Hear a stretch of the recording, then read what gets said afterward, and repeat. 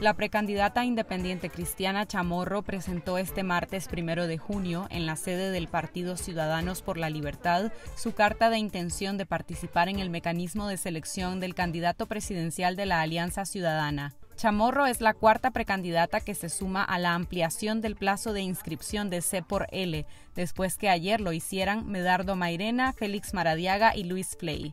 Chamorro presentó también propuestas de cambios para el sistema de evaluación de los precandidatos que participen en el proceso. De entrada dije que esta es sugerencia, que no vine a condicionar nada, que vine a proponer, a enriquecer la metodología, así como todos los precandidatos han hecho sus propuestas anteriormente, así vengo yo a hacer humildemente mis propuestas para que consideren, porque me parece que la metodología todavía a tiempo está para ser enriquecida y está a tiempo para que esta metodología honre el deseo de los nicaragüenses de verse expresado en la selección del candidato único que va a gobernar Nicaragua. Chamorro propuso que se modifiquen los parámetros de evaluación para la selección del candidato, con un 70% para las encuestas y 30% para el debate. También propuso que las consultas se hagan con base a un padrón cerrado, no solo de C por L, sino que incorpore a otras reconocidas organizaciones opositoras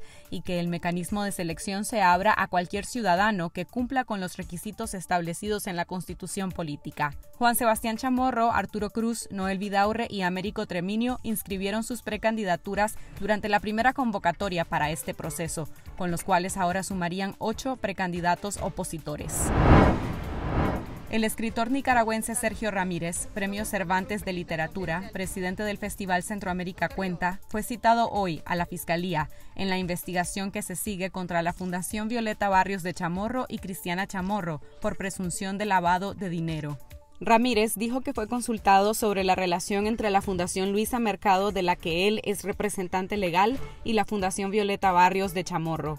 El escritor explicó que su fundación organiza el Festival Centroamérica Cuenta, que en el pasado recibió financiamiento de la Fundación Violeta Barrios de Chamorro, siempre cumpliendo con las leyes nicaragüenses. Nicaragua vive tiempos políticos muy turbulentos, eh, como en este marco electoral, y me parece que todo esto está muy relacionado sobre eso yo no he conversado con el fiscal que me interrogó porque no, me, no, le concierne a él preguntarme a eso ni a mí responderle. Estoy ahora hablándole como ciudadano. ¿A usted le parece que este es un juicio político en contra de Cristiana, que es precandidata presidencial opositora? ¿Qué le parece? Yo creo que está a la vista, ¿no? está a la vista. Este martes también comparecieron el sociólogo Cirilo Otero y la periodista Patricia Orozco. Otero relató que le preguntaron sobre su relación con la fundación y respondió que no tiene ni ha tenido ninguna y que las siguientes preguntas giraron en torno a su conocimiento sobre esta organización. Por su parte, Orozco señaló que el fiscal que la atendió golpeó la mesa cuando ella cuestionó algunas preguntas del funcionario. Una de ellas era sobre los montos que recibió de parte de la fundación. Más de una docena de periodistas, representantes y directores de medios de comunicación han sido citados por este caso, que es señalado de infundado por diversas personalidades y organizaciones a nivel nacional e internacional.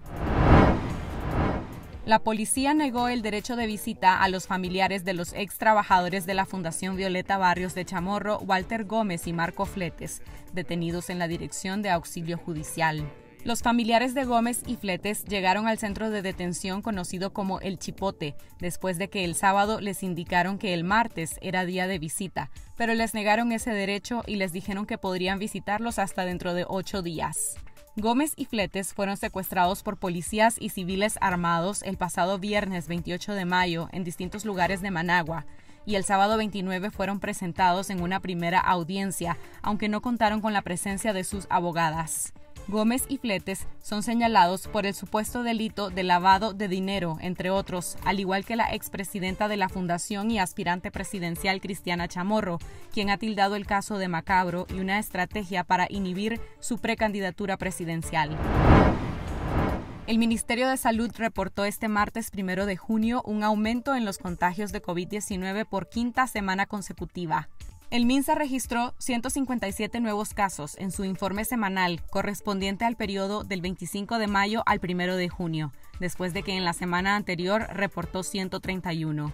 El ente sanitario presentó una muerte en esta semana, mismo número que se ha mantenido en sus informes semanales desde octubre del año pasado. Aunque reconoce el aumento de casos nuevos, el MINSA muestra cifras distantes a las presentadas por el Observatorio Ciudadano, que entre el 20 y 26 de mayo reportó 650 nuevos casos sospechosos y 31 muertes atribuibles a la COVID-19. Pese al aumento de contagios, el gobierno de Nicaragua sigue promoviendo actividades masivas entre los nicaragüenses.